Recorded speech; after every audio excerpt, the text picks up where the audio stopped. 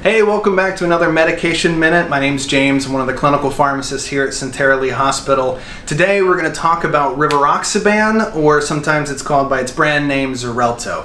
Rivaroxaban is an anticoagulant and it works by slowing down the clotting process in our, in our bodies, in the blood. Uh, which means that we're typically going to use it for diseases where there either already is a clot that's formed or a clot might form. So we're talking about atrial fibrillation, pulmonary emboli, deep vein thrombosis, DVTs, um, post-op for an, or, uh, an ortho procedure, uh, etc.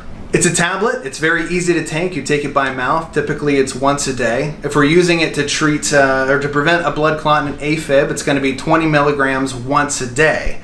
But if we're using it to treat a clot that's already formed, it's going to be 15 milligrams twice daily for the first 21 days, and then it's going to go down to 20 milligrams once daily.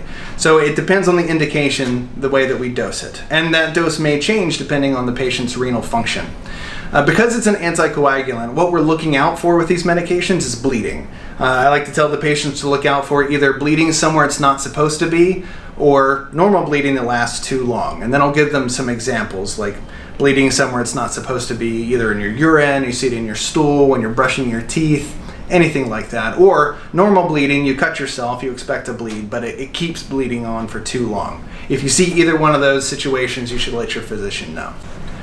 One pearl that you can tell the patient is that this medication absorbs much better if it's taken with a meal. So try to schedule it around the time that you have a large meal, whether that's breakfast or dinner, whatever suits your schedule.